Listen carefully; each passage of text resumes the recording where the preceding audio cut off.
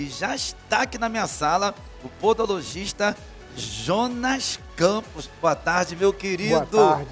Tudo bem com você? Tudo ótimo. Obrigado. Seja muito bem-vindo aqui na nossa sala. Muito obrigado. E é um prazer te receber. Prazer é todo meu.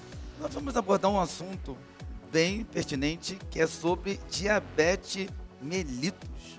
É isso? Exato. Eu já quero já abrir a pauta já perguntando o que, que vem a ser, Jonas, diabetes mellitus? Diabetes mellitus é uma doença é, hormonal, né, onde a gente tem a falha do pâncreas. O pâncreas é um, um órgão que secreta a insulina e o glucagon, que são dois hormônios que regulam a quantidade de açúcar que a gente tem no sangue. Né? Tanto quando a gente tem pouco açúcar, o glucagon libera é, o açúcar que a gente tem retido, e quando a gente está com a, a, o açúcar alto demais, depois que a gente ingeriu alguma coisa, automaticamente a gente libera a insulina para o organismo conseguir absorver é, essa glicose, né, que a gente chama, que é o, o açúcar no sangue, e vai ser absorvido pelas células. Então, quando a gente tem a diabetes mellitus, é porque existe uma falha na produção da insulina. Sério? Exatamente. Então, existem duas possibilidades. A primeira é que o pâncreas produz uma insulina ineficiente e a segunda é quando essa insulina ela acaba sendo é, ausente, ou seja, o próprio pâncreas para de produzir a insulina. E qual seria, Jonas, o, o fator de risco para o diabetes mellitus?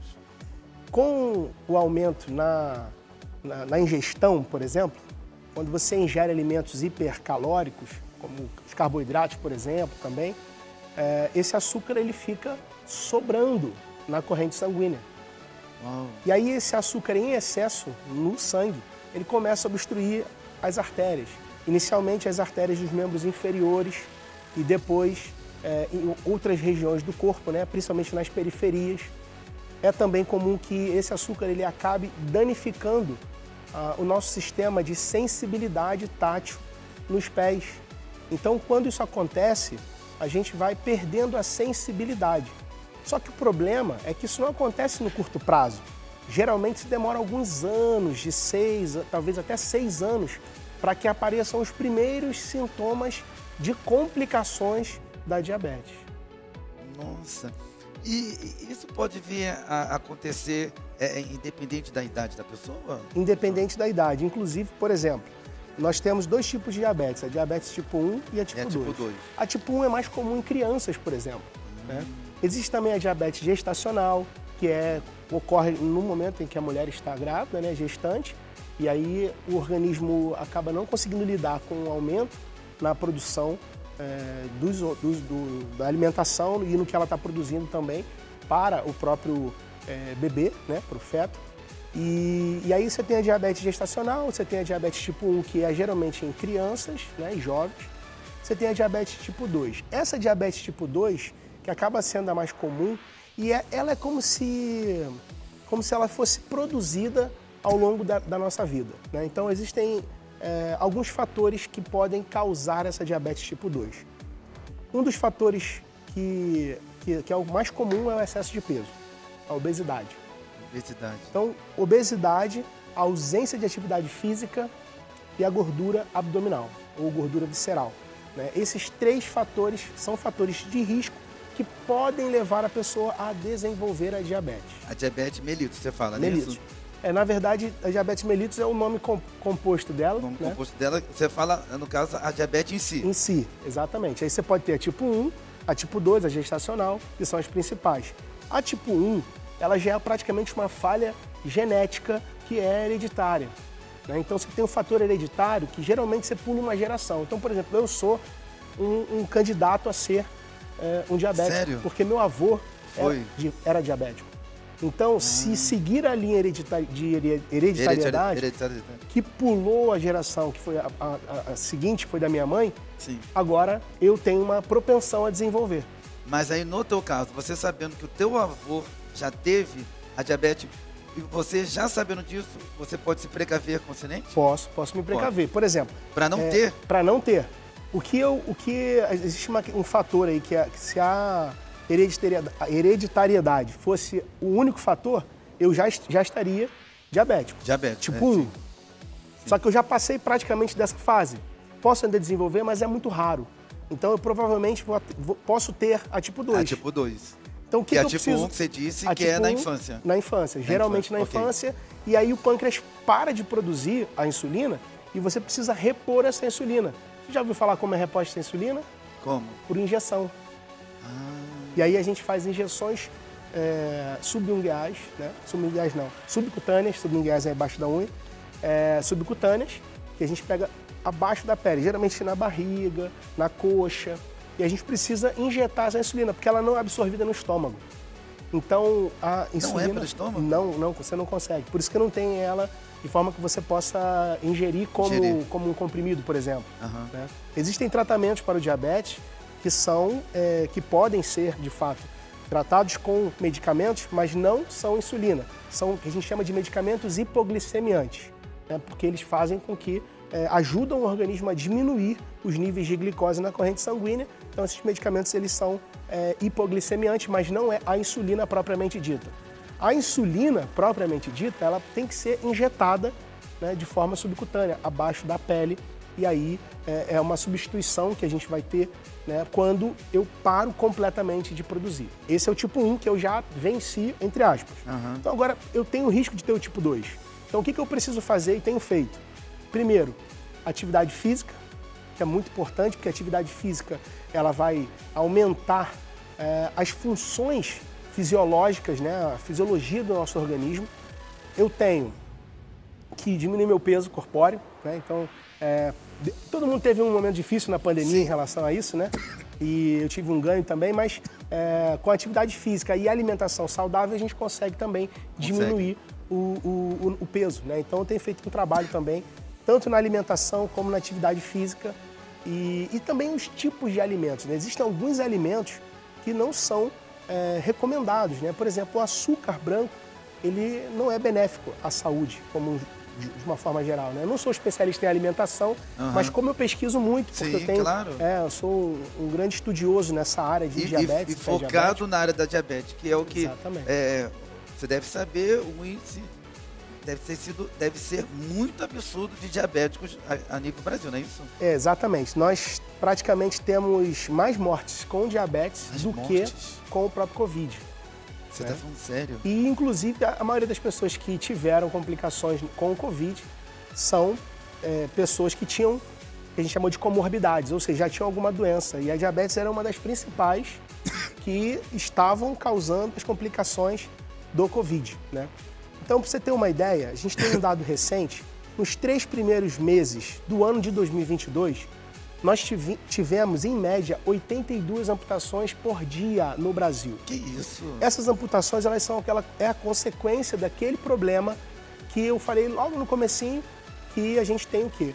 O, o acúmulo da glicose, né, que é o açúcar, que não é absorvido pelas células, e essa, essa glicose ela vai ficando é, retida na corrente sanguínea e vai dificultando a chegada do sangue lá nos membros inferiores. Então, às vezes, um pequeno problema que você possa ter, seja uma mão encravada, aquela frieirazinha, a rachadura no calcanhar, qualquer um calo, qualquer que seja essa alteração, mínima que seja, é possível que, sem tratamento, sem acompanhamento podológico, sem acompanhamento médico, essa lesão ela progrida de uma forma mais acelerada Entendi. do que o normal.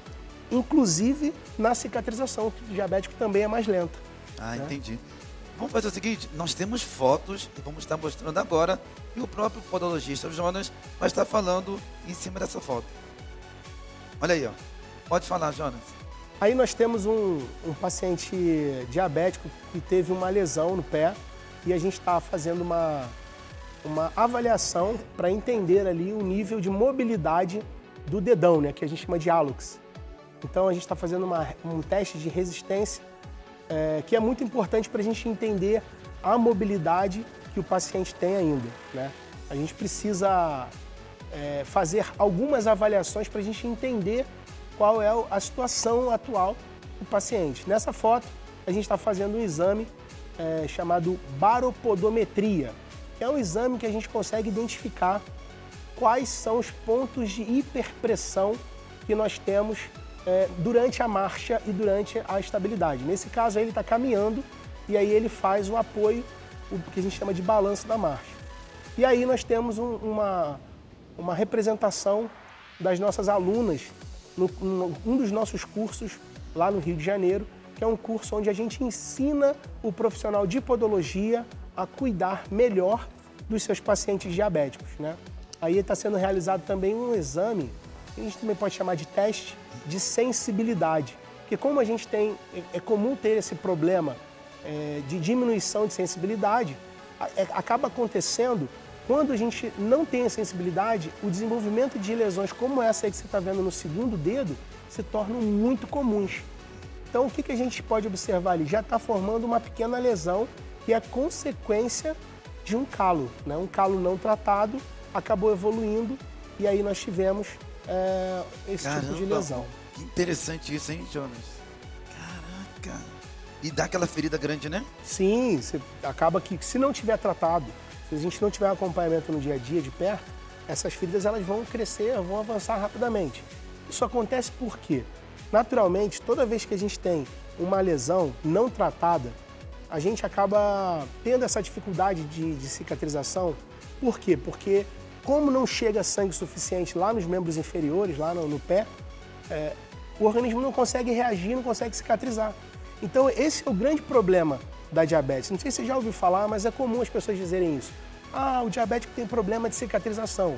E geralmente esse problema está nos membros inferiores devido ao distanciamento que a gente tem do coração. Então, o membro inferior, por ser extremidade, acaba ficando mais vulnerável né, a essas cicatrizações mais lentas. E isso faz com que cicatrização lenta, a gente tenha a entrada de bactéria, a bactéria causa uma infecção, o organismo não consegue combater a infecção, essa infecção progride, avança e aí acaba gerando o risco da amputação.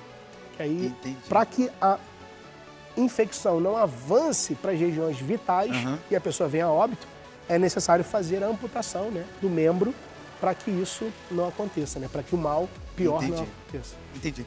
E, e, Jonas, qual seria o conselho que você daria para todos que estão nos assistindo nesse exato momento é, sobre, é, é para quem é diabético, no caso, é, sobre os cuidados no dia a dia? Por exemplo, eu sou diabético, a pessoa está em casa assistindo, fala assim, Jonas, me dá um conselho, como é que é o meu comportamento, como é que seria a minha alimentação é, no dia a dia? Qual o conselho que você daria para essa pessoa? Eu posso dar um conselho para quem talvez ainda nem sabe o que é diabético, né? Ixi. Porque, na verdade, o que, que acontece? A diabetes é uma, é uma doença silenciosa. Você não tem nenhum sinal, não tem nenhum sintoma. Então, você pode estar diabético e não Sem saber. saber. Não e saber. como que ela sabe? Só através dos exames? Através dos exames, Só exatamente. Existem algumas, é, algumas características que podem Quais sinalizar. Seria? Poliúria, polidipsia e polifagia, que a gente chama de tríade da diabetes. Sim. A poliúria é o excesso de urina.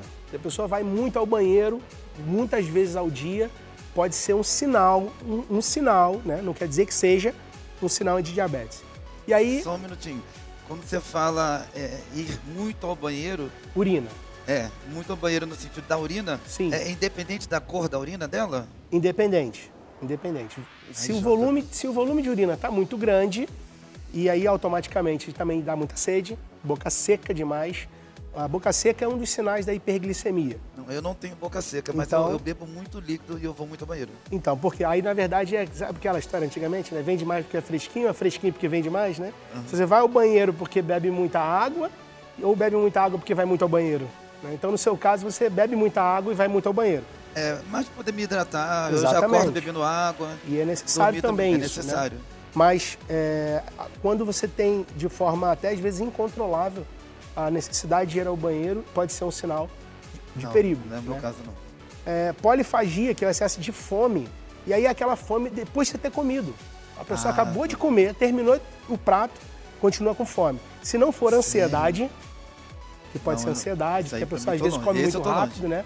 Se não for ansiedade, pode ser, pode vir a ser também um sinal de risco. Porque o que, que acontece? A pessoa se alimenta, vamos supor que ela comeu lá um, um arroz com feijão, uhum. esses ingredientes chegam até o intestino e iniciam o processo de absorção, vão para o sangue, só que quando chega no sangue, não conseguem ser absorvidos é, para as células. Então as células elas estão com fome, elas estão necessitando de energia. E aí elas dão um sinal para o cérebro, come mais, porque ainda não está suficiente. Não, Deus me livre. É. Esse aí não sou eu não, o terceiro, Jonas. E o terceiro, é, poliúria, a polidipsia, que é a sede. Sede excessiva, que aí é consequência também. Né? Sede. Né? Boca seca, sede e fome excessiva. Ah, boca seca é um? É a boca seca que gera sede, né? Tá, e o outro é? Boca seca, boca gera seca, sede. Gera sede. Bebo, às vezes, água. Excesso de água. Aí vou muito ao banheiro. Vai muito ao banheiro. E sinto fome mesmo depois de ter comido. Não, eu não, não tenho. Não. Eu, eu tô meio em dúvida esse aí de beber da bebida, água. de é. água. Mas isso, não, fome mas, não. Mas o que, que, que eu acho que eu, que eu gosto, que eu gosto de, de ressaltar é o seguinte. É, o que a gente tem que levar em consideração, que é muito importante, é o fato de que durante a pandemia a gente ficou, muitos de nós ficamos sem fazer os exames periódicos, né? Então é importante que todo ano a gente faça esses exames periódicos. Um simples hemograma, solicitado aí geralmente por um clínico geral, já pode identificar algum problema né, relacionado à diabetes. Né? E, e só, é, só assim que a gente vai conseguir diagnosticar de fato a diabetes. Agora, você que já tem é, o diagnóstico de diabetes, né, quais são os cuidados que você deve ter? Primeira coisa, como o, o pâncreas do diabético não funciona sozinho, né, ele não funciona adequadamente, a gente precisa fazer um monitoramento dos índices glicêmicos. Porque o pâncreas ele funciona como se fosse um sensor. Se eu como muito, automaticamente eu libero mais insulina para que eu possa absorver essa insulina, essa glicose circulante no sangue para as células. E se eu não como, se eu como pouco, eu libero glucagon para fazer o inverso, para equilibrar também, para não ter uma hipoglicemia e desmaiar. Entendi. Né? Então, o pâncreas, quando não funciona bem, é, é, esse desequilíbrio acaba acontecendo. Só que geralmente a gente tem o que a gente chama a diabetes, ela é uma hiperglicemia, ou seja, aumento de glicose no sangue. Então, eu não vou entrar aqui em detalhes de números, até porque eu não sou médico, né? Eu sou um profissional de podologia, né? E então eu não, não quero invadir a praia, né? Uhum. Da, dos colegas médicos, mas o que é importante é a gente, já com o diagnóstico em relação aos nossa, nosso, nossos cuidados no dia a dia, controlar a glicose. Então, se você é, tem lá uma prescrição alimentar, né, uma dieta prescrita ou por, pelo próprio endócrino ou pelo, pelo nutricionista, siga a sua alimentação adequadamente. Né? Evite os alimentos que são ruins, são maléficos, principalmente os doces, refrigerantes, né? os alimentos industrializados, eles não são saudáveis. Né? Segunda coisa, aí já vamos para os cuidados é, de saúde ali com os pés. Quando a gente tem diabetes, né, como a gente tem esse risco de desenvolver as lesões, os problemas nos pés, a gente tem que ter um olhar atento aos pés. Né? Porque, por exemplo, muitas vezes, como é que a gente toma banho, quando toma banho, lava o pé? Esfrega um pé em cima do outro, né? Eu esfrego os dedos. Você é uma raridade. É. sempre, eu sempre lavo meus pés. É bom isso, né? Com certeza, com certeza. Todos os dias. E, e outra coisa também é inspecionar o calçado. Antes da gente calçar o sapato, lá dentro para ver se não tem um, um grãozinho de areia, uma pedrinha. Essa observação não faço. Alguma coisa que possa. Mas o, qual que é o risco maior para o diabético? Porque, como ele não tem a sensibilidade, ele vai calçar o sapato com uma pedra lá e ele vai andar por horas e não vai sentir. Ah. Quando ele tirar o sapato, ele já tem uma ferida instalada. Olha isso, cara. Entendeu? Mas aí, é, é, é, inflige também, o Jonas, a pessoa tá calçou, ou tênis ou sapato, estar sem meia ou com meia, também isso inflige? Sem dúvida. A gente recomenda sempre que, que se use meia e a meia que seja de algodão, porque ela absorve mais o impacto e o suor, Ei. e que seja branca, ou de uma cor clara, um cremezinho tipo esse aqui que estou usando. Por quê? Porque quando eu tiro o sapato, se eu tiver uma lesão, se sangrou, eu vou conseguir visualizar na meia. Eu tiro a meia, dou uma inspecionada na meia. Se a meia está com algum sinal de sangue, é sinal porque eu tenho um problema no pé que eu não senti, mas eu estou conseguindo identificar. Né? Jonas, nós ficaríamos aqui horas porque esse assunto é muito pertinente, muito, muito ainda mais quando você fala de diabetes, não é isso? Exatamente. Muito obrigado mesmo por esse bate-papo tranquilo. Eu gostaria de pedir que você deixasse telefone de contato, Instagram, para o pessoal de casa, até mesmo para poder esclarecer maiores informações concernentes a assunto sobre diabetes. Com certeza. É, eu, sou diretor do IBRAP, que é o Instituto Brasileiro de Podologia, né?